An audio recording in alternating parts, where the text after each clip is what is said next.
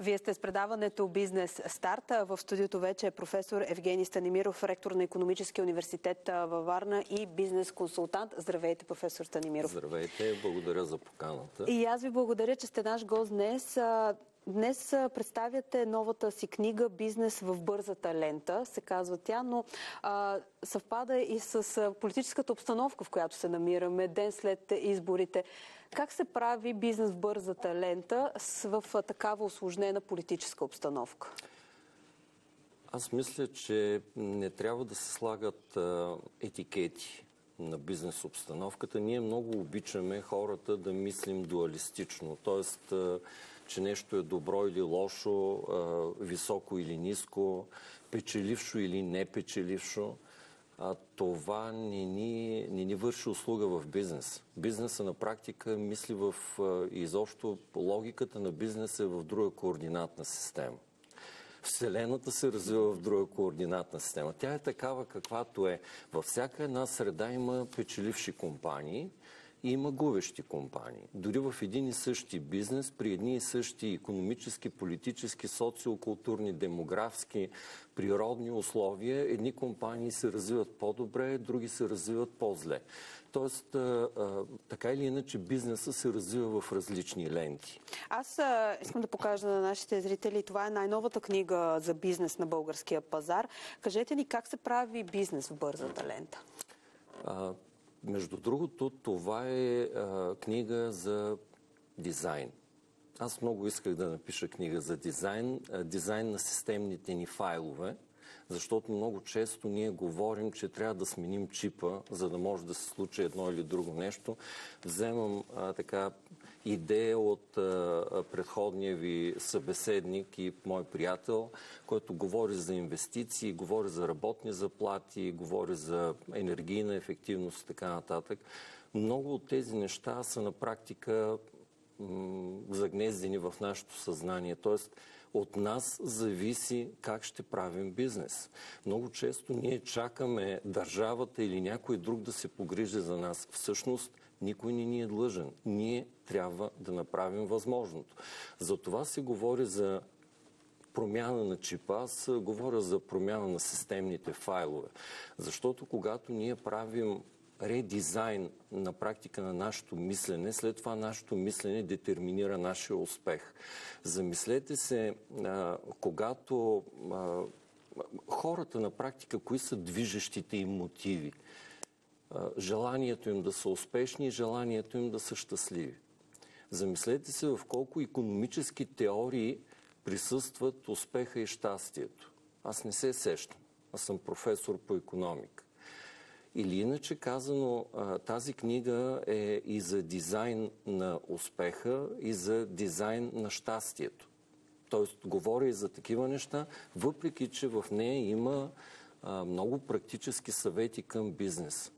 И книгата е така структурирана, че тя е в три части. В първите две части се третират въпроси, свързани с а, така, с нашия начин на мислене. Третата част а, представям един 8К модел, в който се дават доста практически бизнес съвети. Бързата лента, това, което вие поставихте като въпрос, не е физическо място, не е просто физическо място. Бързата лента е начин на мислене. А как се определя в коя лента е нашият бизнес? По принцип, ние можем да се движим в три ленти.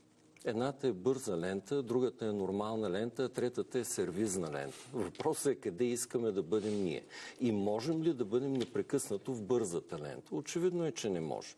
На практика бизнес е нашето развитие не е а, само бягане на дълги разстояния. Въпреки, че по същество е бягане на дълги разстояния, но ние имаме множество спринтове в рамките на деня, в рамките на седмицата, в рамките на месец.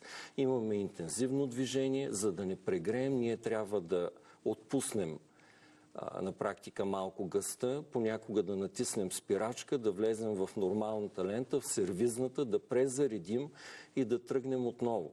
И интелекта, точно, точно правилната преценка, кога, как, защо, с кого, това са партньорите, това е бизнес модела на практика. Към кого ориентираме всичко това?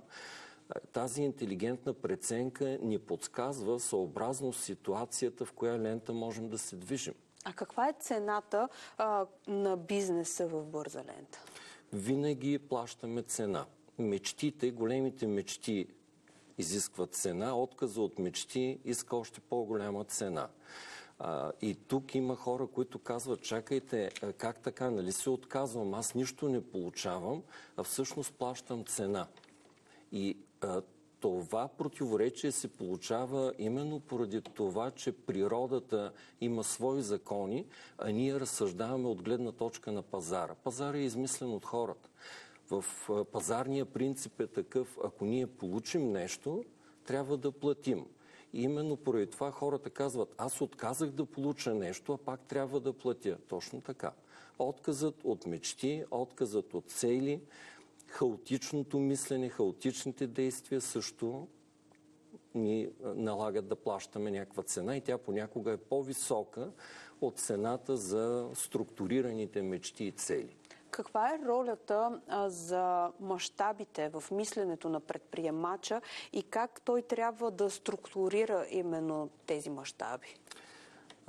Сега аз мога да направя следния, може би следното сравнение. Всички виждаме какви инфраструктурни проекти се правят или представете си, да речем, някакъв, някаква ремонтна дейност.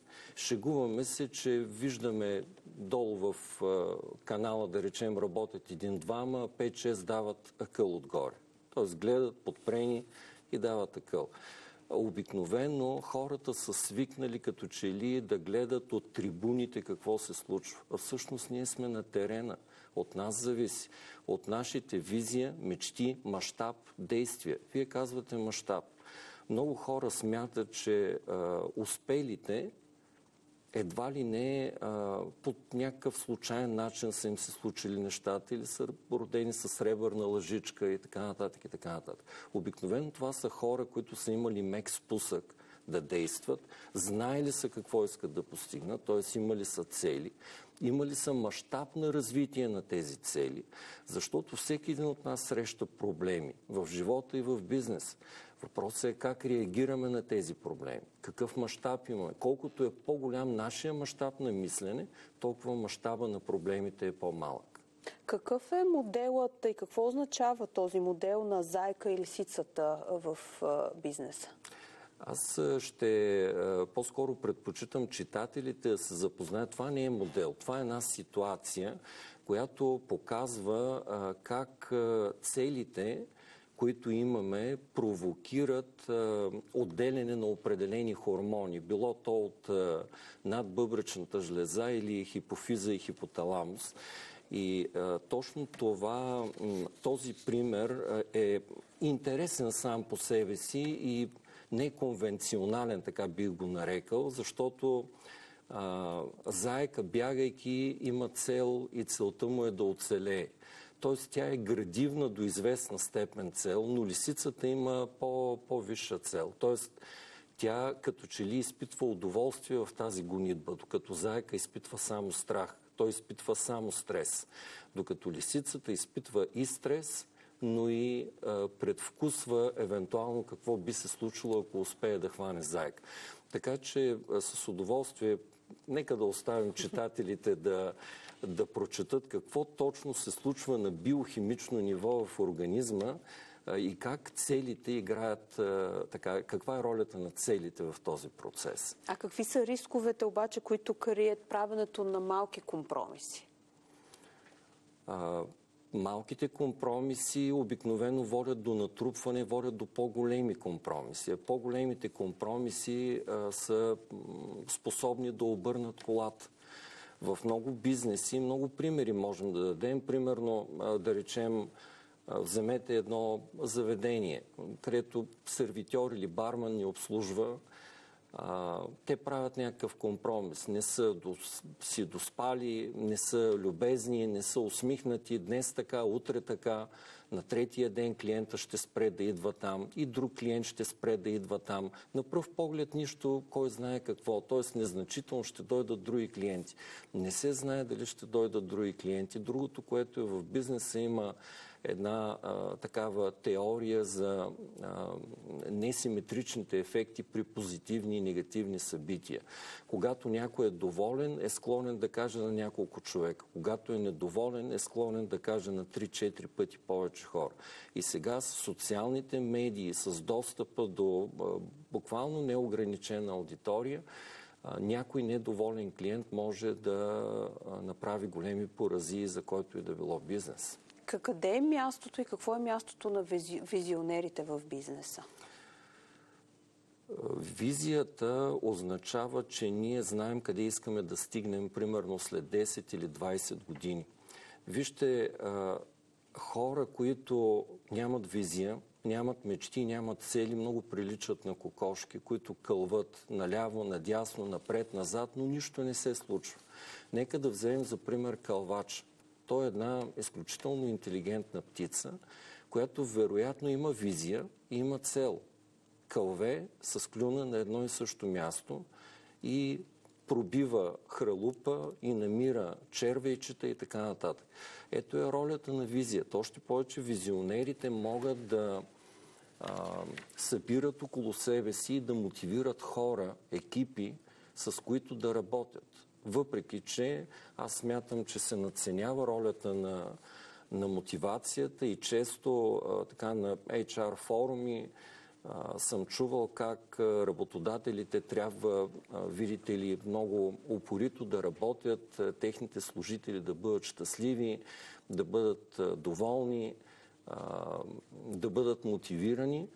Аз смятам, че работодателите имат за цел да осигурят необходимата работа, да изискват какво трябва да се свърши, да гарантират ефективността на процес. Щастието е силно индивидуален феномен.